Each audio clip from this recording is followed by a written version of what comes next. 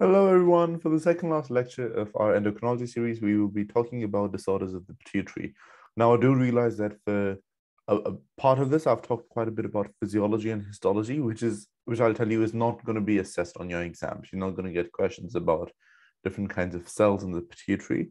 However, um, I've still left that in. If you want some leisurely viewing, please go ahead. But otherwise, if you're looking for more the clinical side of things, feel free to skip to the second half of this lecture. So the pituitary is known as the master endocrine gland because it controls a lot of endocrine organs, as you probably know. But the secretions of the pituitary itself are controlled by the hypothalamus. The pituitary is located within the sphenoid bone in this tiny sac called the sella turcica.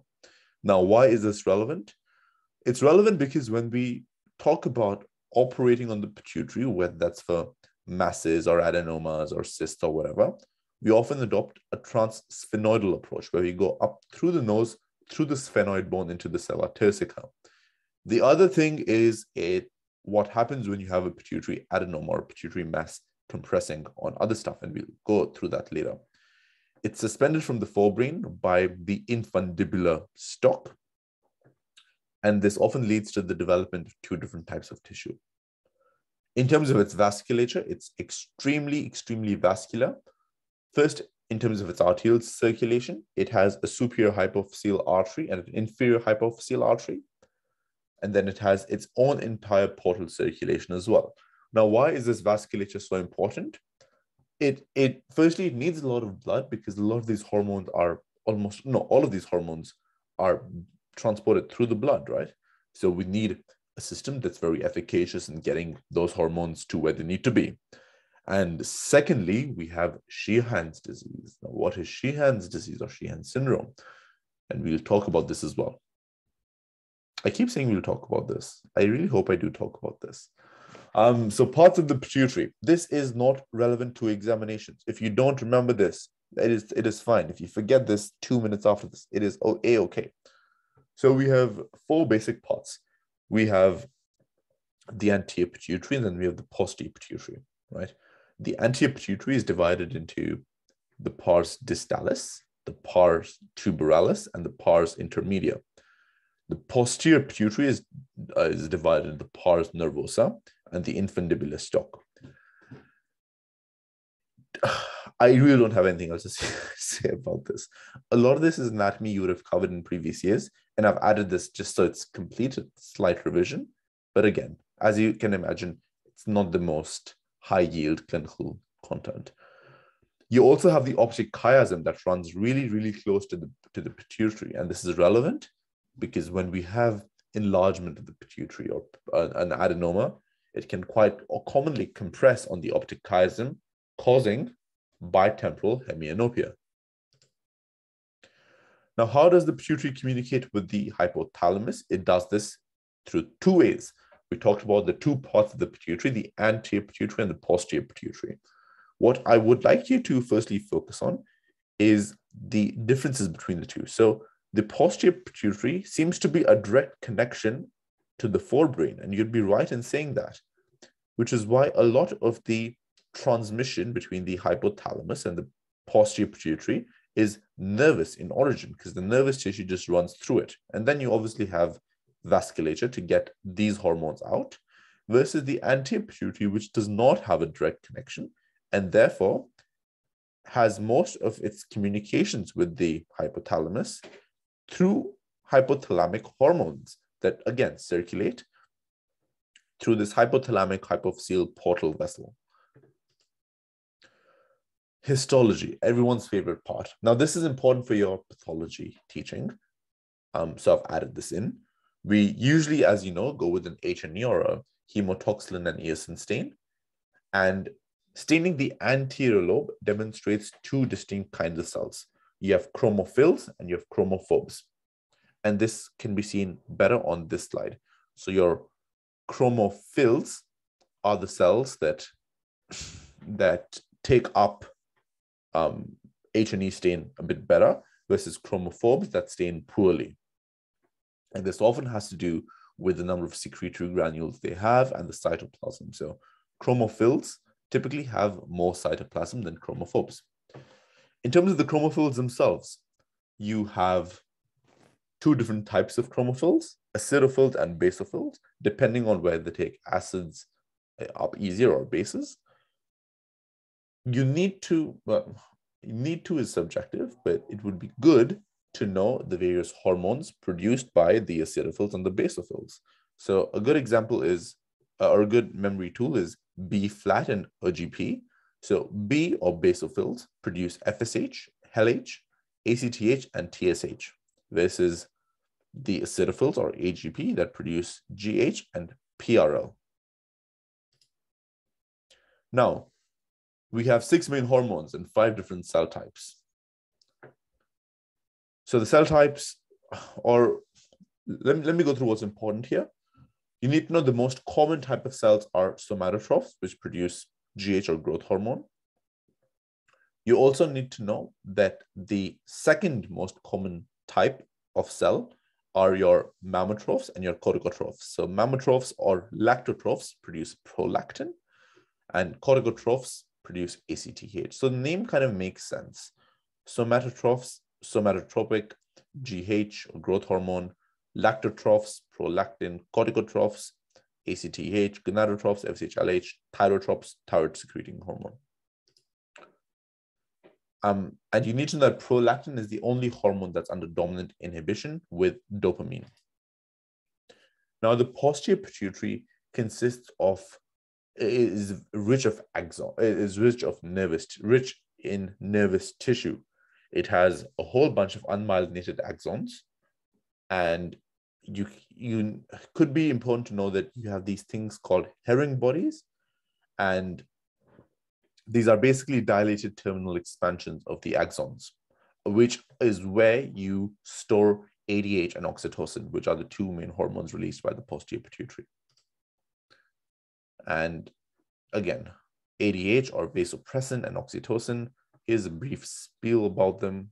If you want to, please feel free to go through this in your own time. Now, what can go wrong? Now, this is really important with clinical anatomy. So Firstly, you can have adenomas. There are most cases benign tumors of epithelial origin. Anything less than one centimeter is a microadenoma. That's the most common type, versus macro that are greater than one centimeter. How do they present? So with any mass lesion in the, or any intracranial mass lesion, you can have headaches. Um, but particularly, we talked about the proximity of the sella turcica with the optic chiasm. And that is going to present with issues with vision particularly bitemporal hemianopia, where you lose the um, peripheral or lateral vision on both sides. So as name suggests, bi meaning both, temporal meaning of the sides or towards your temples, hemi meaning half, anopia meaning loss of vision. So you lose half the vision, and that's going to be the lateral vision. Specific symptoms often depend on the type of pituitary cell being involved. So with most tumors, they tend to be anterior based on the anterior pituitary, and some of them can even be secretory. So if you have a secretory tumor, that is obviously going to present with um, signs and symptoms of its specific hormone and its uh, function downstream. So if we have a prolactinoma, that is going to be a tumor that secretes prolactin. It's the most common type of pituitary tumor. In women, that would present with amenorrhea, issues with infertility, um, as well as galactorrhea or the production of milk. In males, it presents with issues with libido as well as erectile dysfunction. If you have a tumor that's growth hormone secreted due to a somato, um, somatotroph adenoma, that is going to cause excessive growth hormone, as you can imagine, and growth hormone causes growth. So in children, that's going to cause gigantism. In adults, it's going to cause acromegaly. Now, acromegaly is slightly different to gigantism when you have excessive growth hormone while the kid is developing, you can have um, features like really tall height um, and everything that is typical of gigantism. However, when you've already had your growth spurt and you're an adult and now you start producing excessive GH, you have more effects on bone, um, specifically bones of the hands, the jaw, um, and the skull, instead of just a growth spurt or having um, or being of a larger size. So important features of acromegaly include spade-like hands, just huge hands, spreading of the teeth because you have growth of the jaw, so the teeth are a bit further spaced. You have increased frontal bossing because of skull growth, um, large nose, large ears. Um, the, there's other condition called molluscum fibrosum, and you can also have cardiomyopathy and cardiomegaly. We also have Cushing's disease, that is because of an ACTH secreting pituitary tumor, and it's the second most common cause of Cushing's syndrome. Now, we talk about Cushing's syndrome versus Cushing's disease excessively in our lecture on adrenal pathology. So have a look there if you're confused. Um, so yeah, um, other features that are relevant. Um, eh, I guess from an exam perspective, uh, here are how these are commonly assessed. So Prolactin tumors or prolactinomas, the typical buzzword is milk production and sexual issues. Um, peripheral vision loss plus erectile dysfunction plus loss of libido is your go-to prolactin tumor um, in the pituitary. Your, and your typical presentation for acromegaly might be a sudden inability to fit into rings and shoes and noticing that they have issues with their jaw. Funnily enough, um, for those of you who know who the actor Kumail Nanjiani is, um, funny brown guy, he, as you know, is starring in Marvel movies now and has had a huge glow up and looks like he's put on 25, 30 pounds of muscle in a few months.